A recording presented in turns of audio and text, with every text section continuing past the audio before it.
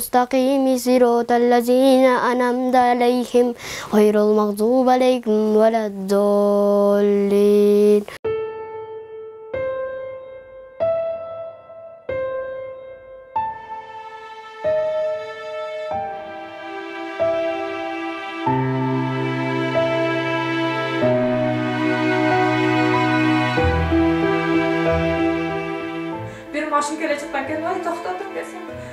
Екі оқ келіп шындай алдыма түсті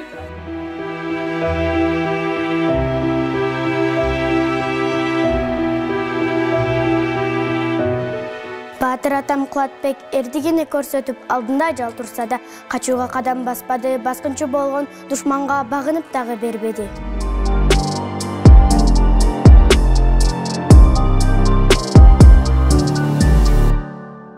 мен тұрған жерді миномет менен аткылап мен дагы ушу душмандар менен кошулуп жок болуп кетейин деп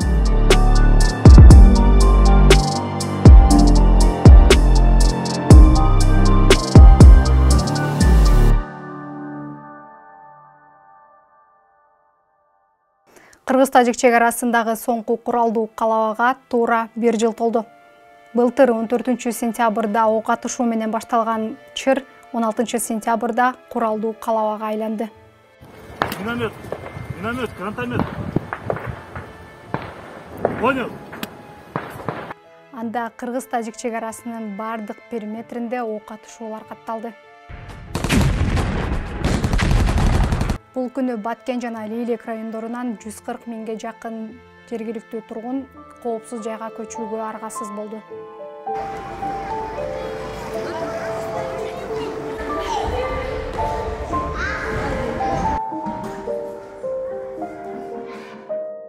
биз уже эшиктерди жаап эме кылгычак эле атышып келе жатат да даңгылдатып эле келе жатат машинага минип эле ошо жаштыкка карап айдады да сайга салың десем бир солдат жүгүрүп кетип бара жаткан экен манандай кылды да ол солдат кайт деп атат мени деп кайтарып асфальтка салды да асфальтка салып анан жолдо эч ким жок да кетип бере жатсак эле машинага кетти да тумалап болду да istemem. Başına çok değişik çünkü. Turayın desem bile putum basıp uçadı. Vay, bana bir oldu kızım. Desem bile ilk konuşanın kızı düşüyle kaçıp gitti. Yürüyüp içine babam olarak koşup kaçıp gitti. Hmm. Kızım desene kaç desem ben taştağayım siz dedi. Dağın bir maşın kelip kaldı yolda oy biz de alak ettin desem bile. O caninen öttü. İlk okuyup aldıma düştü de. түштү да аяк тиктик десек бир машина күйүп жатып экен кызым чокорак ачылгай калпа деди азыр машинаны күйгүзүп жиберсе экөөбүз эми күйүп калабыз чокорак ачылгай колум менен таянып кызым бутумду байлап көтөрүп таянып кырга чыктык да кырга чыксак токтотту шетте атаң кана десем рулда жок атасы атасы ошо машинанын алдыңкы айнеги сынган экен да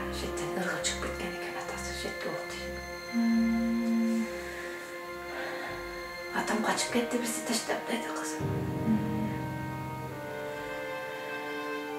Atasını görüyorduk şöyle benim. Hmm. Ben görmedim atasını. Şimdi aldı uzayla suyucu maşına ne tak ettiler atasını. Он бешинчи сентябрда улуттук коопсуздук мамлекеттик комитетинин төрагасы камчыбек ташиев куралдуу жаңжал катталган аймакка келип тажик тарапты чагымчылдык кылды деп айыптаган. Булар негизинен биздин граждандык объектилерге кол салгандыгы болуп атат. Бул өтө кооптуу жана бул эч кандай бир мындай правилага жатпайт саламаттык сактоо министрлиги бул күнү эки чек арачы жана он бир жаштагы бала жаракат алганын кабарлаган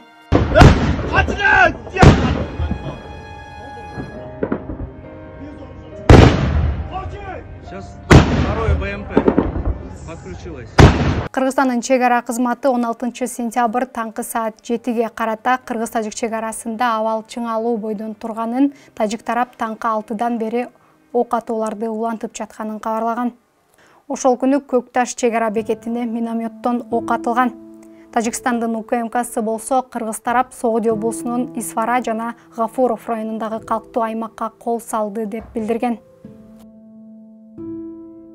Биз чыгып кеткенден кийин жарым саат бир сааттын ичинде болуптур да анан ого чейин майда октор түшүп аткан чуулдапчы кулактарыбыздын астынан эме чуулдап октор учуп чаңы эле мындай бозоруп кетти да айылдын үстү дагы. Ошол катуу коркуп балдар дагы машинанын ичине жашынып ошентип айылдан чыгып кеттик. Президенттин баткен облусундагы ыйгарым укуктуу өкүлү абдикарим алимбаев тажик тараптын күтпөгөн жерден оор техника менен ок атканын агрессия деп атаган бүгүн эртең менен саат алты чамасында кыргыз тажик чек арасынын чек арасында эки тараптуу ок атуулар башталып тез аранын ичинде эле тажик тараптан бүт кыргыз тажик тилкелеринин бүт баардык жерлеринен атуулар башталды муну биз мен азыр агрессия деп санаймын анткени биз күтпөгөн жерден дагы алар атып жатат ошону менен бирге чоң аруу деп он алтынчы сентябрь саат он бирде эки өлкөнүн укмк төрагалары ок атууну токтотуу боюнча сүйлөшүүлөрдү жүргүзө баштаган. Кыргызстандын чек ара кызматы ок атышуулар бир аз басаңдаганын билдирген. Баткен ошуна жолу жабылып боз адыр ашуусунда узун жол тыгыны пайда болгон.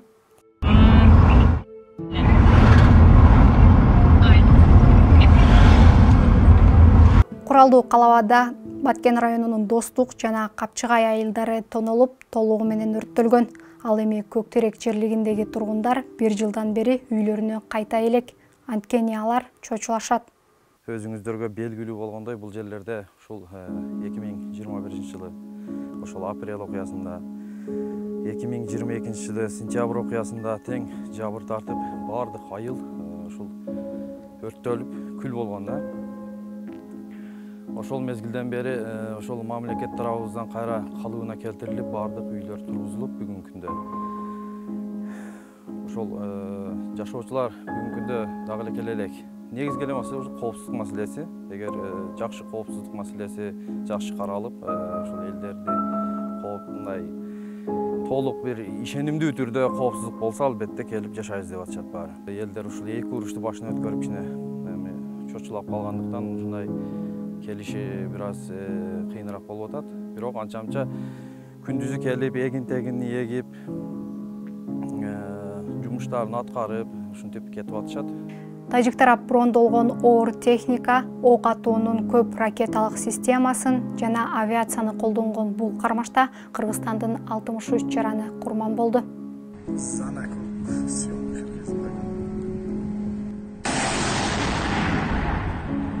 Алардын он экиси жай тургундар эле. Ошол окуяда эвакуация учурунда жол кырсыгына учурап дагы он эки жергиликтүү көз жумду. Курман болгондордун элүү бири аскер кызматкерлери. Э туугандар анау үчтөгү. Кайсыл жерде? Тоодун үстү барго тажиктин мектебинин үстү начайн үстү. Биз шээрде уже тажиктерден чыкканда тажиктер менен ашытабыз. Ой элдер келген экен пасха машиналары менен. Ошолорго айтып коюңуздар эй. Үчтөбүктөр кийин каяктар экен кайтып кетсин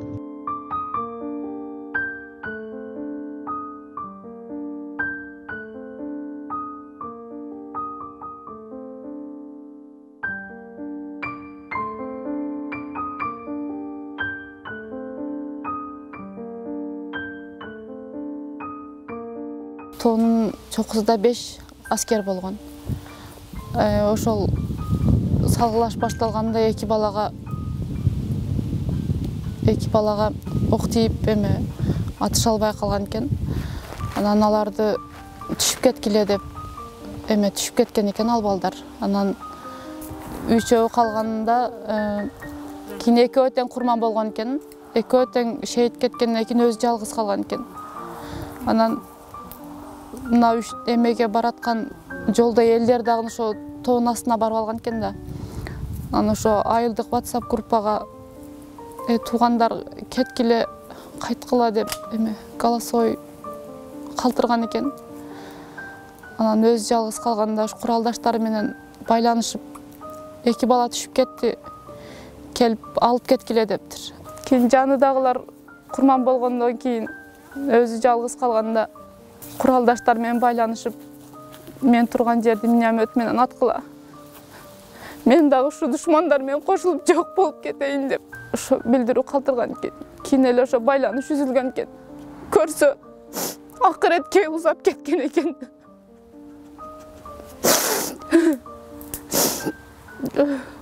үй бүлөдөн дагы мекенди артык артык койгон мекенди ыйык туткан өзүнүн антына бекем туруп баатырларча курман болду өзүнүн жоктугу бизди алсыратат экен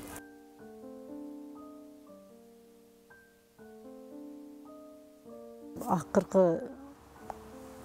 күнү ошо он экисиде келгенбиз икем дагы бир кичине икем бектурдун туулган күнүнө келгенбиз ол өзү голосовой чакырган немелери бар.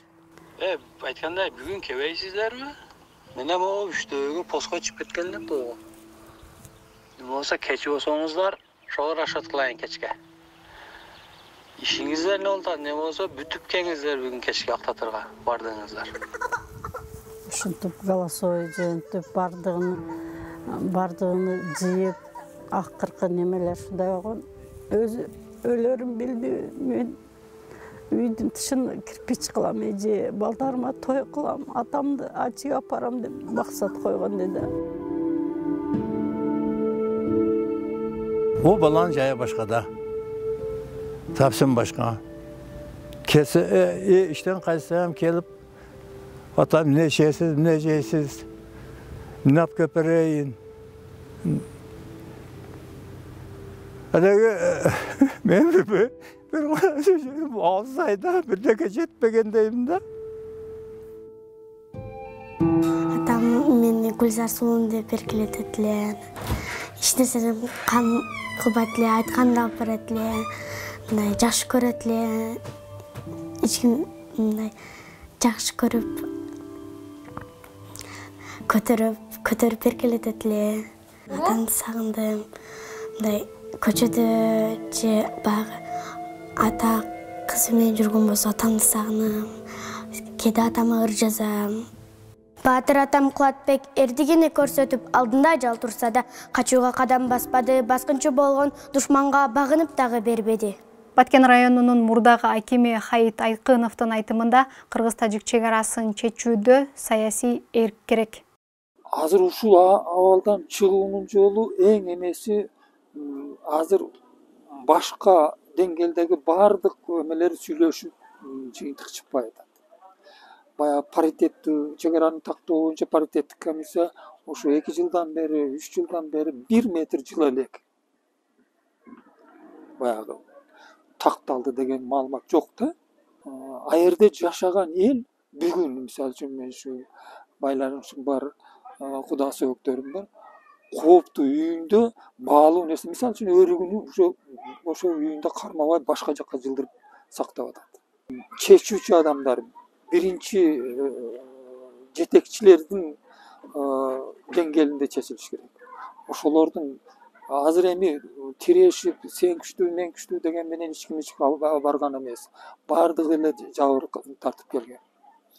Э, мындай учурда саясий эрк керек болот. Азыр э, кудай сактасын эгер бир эме болсо былтыркы жанагы он алтынчы он жетинчи сентябрда эмес анан оор болот. Ошону эки тарап тең ошону эске алыш керек. Үстүбүздөгү жылдын он бешинчи сентябрында баткен шаарында тажикстандын куралдуу кол салуусунан курман болгон жарандардын урматына ачылган эстелик мемориалынын ачылуу аземи өттү мемориалда эки миң жыйырма биринчи эки миң жыйырма экинчи жылдарда чек арадагы куралдуу кагылышууда курман болгон жүз он бир жарандын ысымдары жазылган.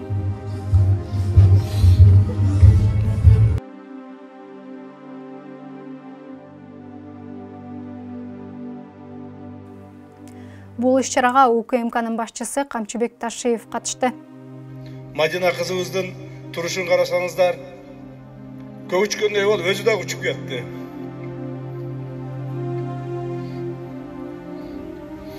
ташиев салам медиасына мындай окуялар кайталанбашы үчүн чек араны тынчтык жолу менен чечүү аракеттери жүрөөрүн билдирди биз чек араларыбызды баардыгын тынчтык жолу менен сүйлөшүү жолдору менен чечүүгө аракет кылабыз кылып да келгенбиз бирок ошол эле мезгилде мамлекетибиздин кызыкчылыгын территориялык кызыкчылыгын эч качан кайсыл бир күчтөргө мындай